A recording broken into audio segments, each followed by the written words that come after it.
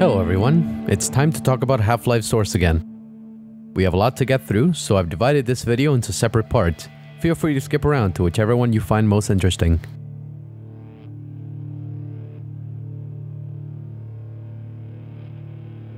First and foremost, I'd like to sincerely thank anyone who watched and shared the original video. The broken state of this game needs to be talked about more often. Furthermore, many of you took to the YouTube comments and Steam forums to provide me with more bugs or corrections to the ones I had already detailed. Let's have a look at what you contributed. Guy on a chair made a video showcasing more glitches that I didn't show. It's also pretty funny. It made me discover something new. Want to skip all of We've Got Hostiles? Simple. Just whack this guy with a crowbar and bypass the whole chapter.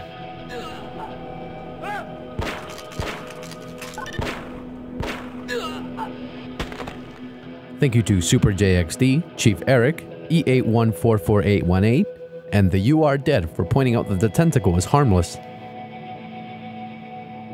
Thank you to Mr. Mario and the You Are Dead for pointing out that the issue in residue processing can be fixed by disabling multi-core rendering. And thank you to Gizmo Guy for explaining why the issue happens in the first place.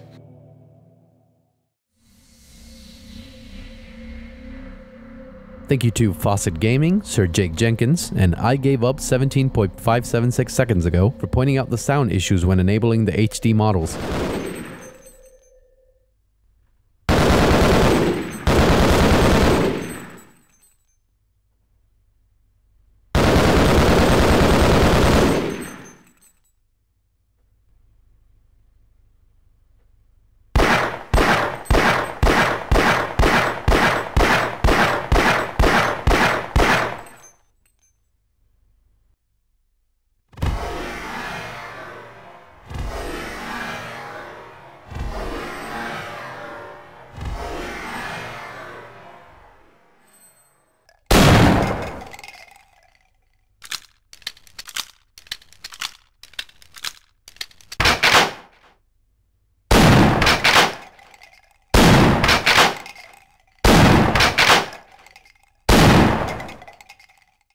Thank you to Ice Earth 1231 for pointing out the issue with glove triangles when holding a revolver.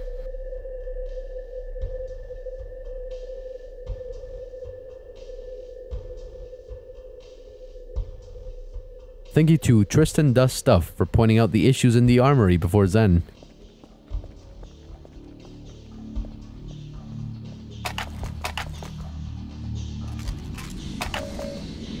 Thank you to Pyrospirit for pointing out additional issues in the hazard course.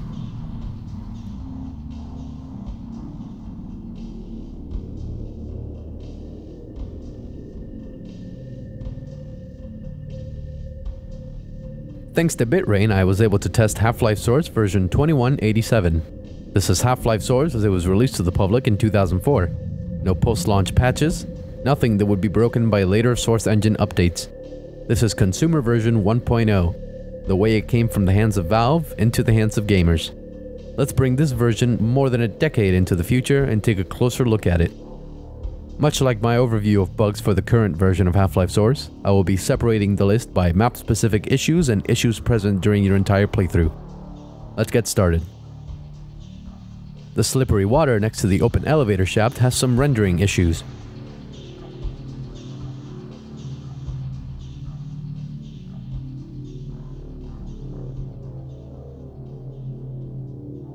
When playing on A Rail, one of the barnacle tongues disappears when you move a certain distance from it. This is caused by a map optimization issue.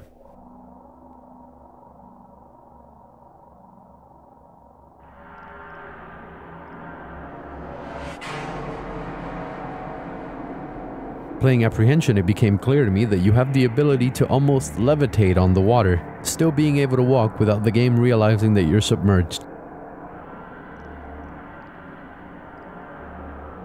I also found that when placed at a certain spot and looking at a certain angle, the screen will start to smear as you move and rotate your view.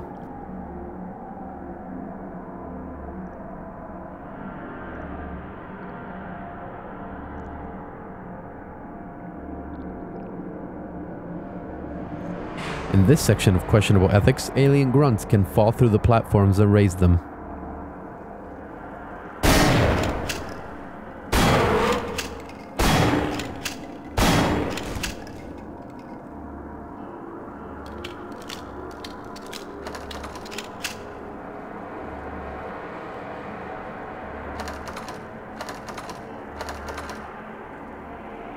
This version of the game still has the charred remains that can be found on questionable ethics.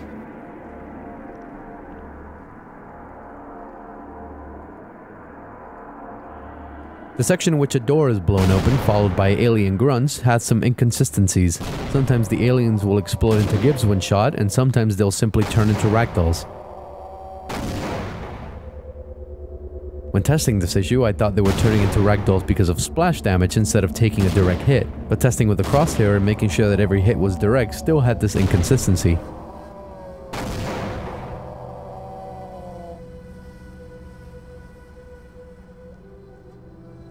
The section in which Gordon has to climb out of a tunnel that has a detonated satchel charge has no fire effect.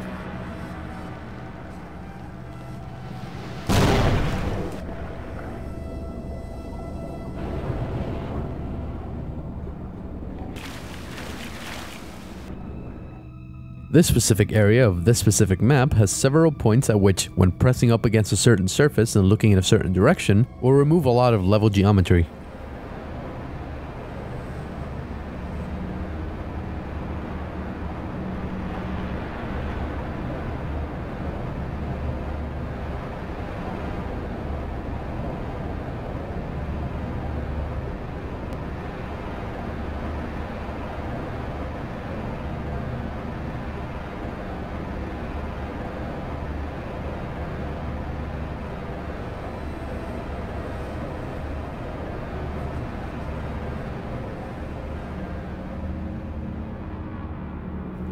When doing the teleportation puzzle in Lambda Complex, touching a wall when on a carrier will make the player stuck while the carrier keeps moving beneath their feet, making them fall and take damage.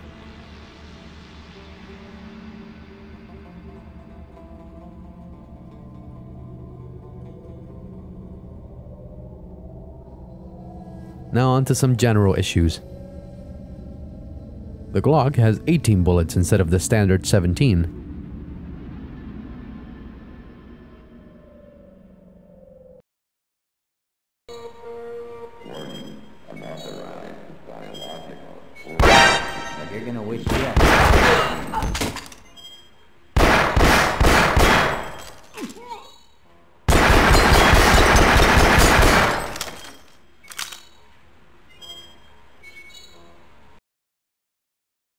Firing animations for every weapon will hiccup when firing straight up.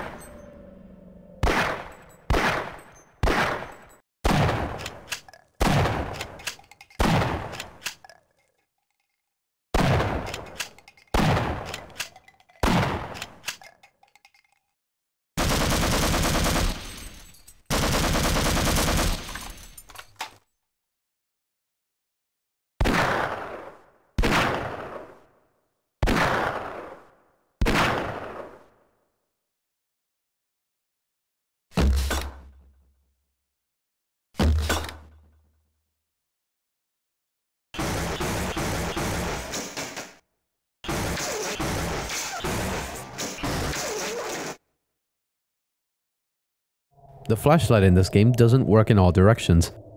It'll work perfectly fine in a 180 degree area, but not the other.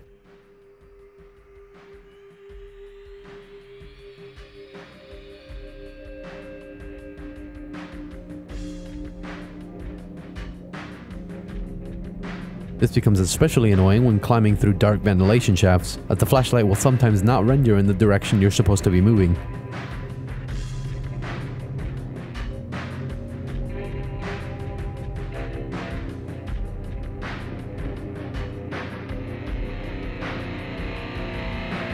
Anti-aliasing also doesn't work properly. Two times and four times anti-aliasing seem to work fine, however six times anti-aliasing yields the same result as disabling it altogether.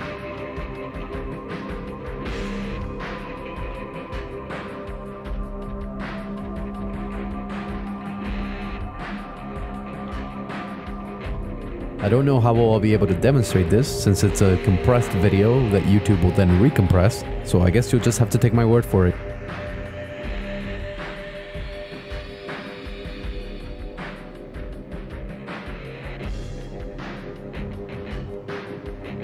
As we can see, Half-Life Source was always a flawed game. Since the day it released, it wasn't perfect. Even if it was, the fact that it disappointed its audience by being such a bare bones conversion meant that the project started out on the wrong foot. The fact that it was buggy only worsened the situation. For a while, it looked as if the future of Half-Life Source was bright. I remember reading update logs that mentioned how the Glock now had the correct amount of bullets per clip, or back in 2013 when they released a beta branch of the game for people to test the latest fixes. All seemed well until that same year when Valve rolled out the SteamPipe update. SteamPipe brought about a major change in the way that Valve and Steam delivered content to the player, and the way that games were stored on a user's computer. Before, when a third-party developer needed to push an update to their game, it would have to go through Valve. This is similar to the way Sony and Microsoft issue updates to games on their platforms. SteamPipe allowed developers to push their updates directly onto users without having to contact Valve first. SteamPipe also allowed the user to download a game faster than before. It was an even bigger deal for Valve's own games, as downloading custom content from multiplayer servers was now easier, game boot times would be faster, and most significantly, engine updates will be spread across all titles.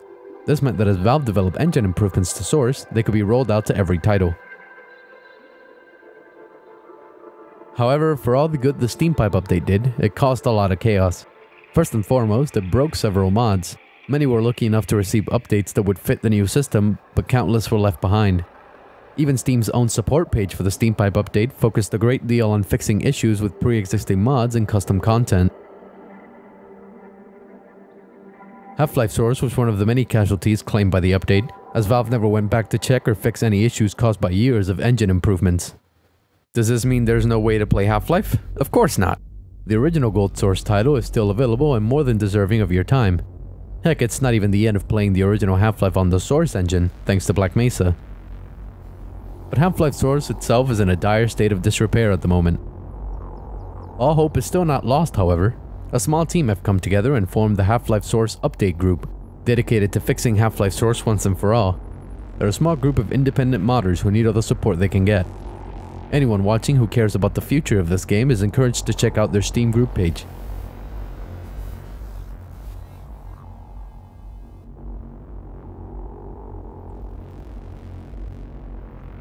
So it's conclusion time. Again. I'd like to finally put Half-Life Source to rest as I can't bring myself to look at it anymore. Though it makes me sad that the game is as broken as it is, the more hopeful side of me waits for the day that people with enough dedication and free time give it the set of fixes it deserves. Being one of the few people to expose the issues currently present in this game and starting a conversation, I feel that I've done my part and it's time to pass the torch. Hopefully this video will someday fall into the depth of obsolescence and prove that for Half-Life Source, much like its original counterpart, the community is its greatest asset. Until then, thank you for watching.